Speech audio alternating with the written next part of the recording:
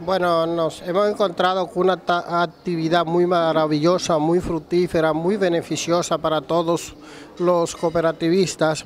Estamos en la primera jornada educativa impartida por FECORESTE, la Federación de Cooperativas de la Región Este, y tenemos varios temas. Ya se agotó la primera jornada educativa que fue impartida por Dagoberto Morillo, donde abordó diversos temas relativos a la educación. Hemos visto una buena participación de las cooperativas de esta región y hemos visto también el entusiasmo que ha mostrado todo y el interés que ha despertado esta jornada educativa. Excelente. ¿En los próximos días tienen alguna otra actividad? Bueno, ya coordinaremos a través de FECORESTE cuáles son las demás actividades subsiguientes a partir de esta.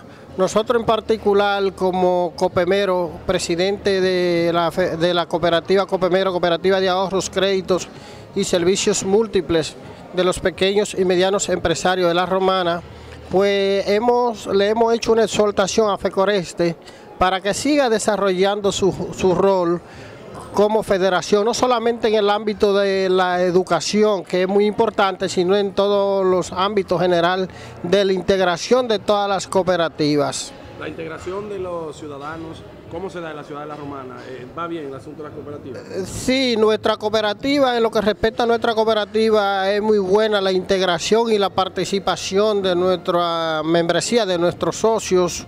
Hemos recibido un gran apoyo, nuestros socios confían en nuestra cooperativa porque en el tiempo que tenemos operando le hemos demostrado quiénes somos y le hemos demostrado de verdad solidaridad y lo que es la, participación equitativa y la distribución de excedentes, la igualdad entre los miembros. O sea, le hemos dado fiel cumplimiento a los principios que gobiernan el cooperativismo y eso nos ha dado la confianza y el apoyo y el respaldo de toda la sociedad de la romana y de nuestros socios. Ahí está. Cuéntanos, ¿su nombre? Juan Miguel Sedano. Juan Miguel, ¿qué, qué cargo desempeña? Ah, yo soy presidente de la Federación de Cooperativas de la Región Este, FECORETE, y presidente de la Cooperativa de Ganaderos de Atomayor. ¿La actividad en el día de hoy en qué consiste? Bueno, la actividad de hoy es la primera jornada educativa eh, de cooperativismo sobre principios y valores que esta federación está dando a sus cooperativas, a las cooperativas que pertenecen a dicha federación las actividades se están realizando a nivel regional, esta es la primera, ¿cuál es el No, esta es la segunda. La primera la realizamos en Atomayor, donde participaron alrededor de cinco cooperativas, y esta es en La Romana, donde están participando también mucho más de dos o tres cooperativas. ¿Tienen ya pautado las próximas provincias? Sí, el próximo sábado nos toca en la provincia de la Altagracia con las cooperativas que pertenecen a la federación. ¿El interés de FECORESTE con las cooperativas cuál es? Bueno, el interés es precisamente educar a los socios. Nosotros es el quinto principio del cooperativismo y nosotros sabemos que sin educación los pueblos no se desarrollan. Y más aún eh, una doctrina como es el cooperativismo que está adornada de principios y valores. Solo la, la educación es que nos salva y nos ayuda a crecer. En el plano, por lo menos de la Federación de Ganaderos, cooperativa de ganaderos de, Ato Mayor, ¿cómo ha sido la receptividad de sus miembros? ¿Cómo no, importantísimo, hemos crecido. Nosotros eh, fundamos la cooperativa de ganaderos de Mayor en el año 2000.